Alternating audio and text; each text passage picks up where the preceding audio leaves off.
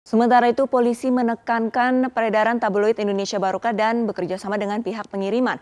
Polisi belum menyelidiki lebih lanjut karena tabloid Indonesia Barokah saat ini masih dalam pengkajian.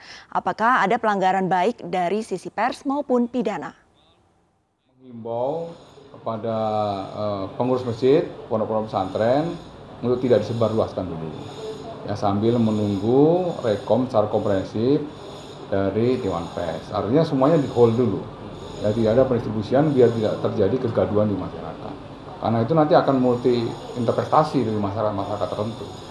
Dan juga jadi kita sudah mengambil langkah-langkah secara progresif. Yang bekerja sama dengan PT Pos kemudian dengan pihak pondok pesantren demikian juga dengan pihak Amir Masjid dan aparat setempat.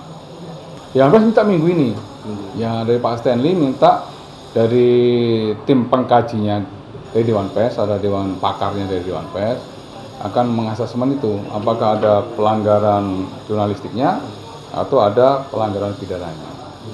Kalau misalnya ada pelanggaran jurnalistik ya pasti Dewan Pers yang menangani. Kalau misalnya tidak ada pelanggaran jurnalistik ya berarti diserahkan ke Polri. Ya Polri nanti akan mengkaji juga, mengkaji juga konten yang ada di dalam.